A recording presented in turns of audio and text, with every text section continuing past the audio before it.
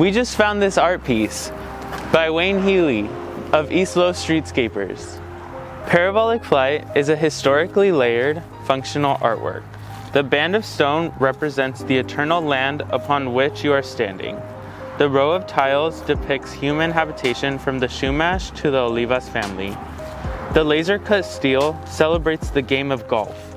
Also featured is Max Fleischmann, the benefactor that gave the land back to the people.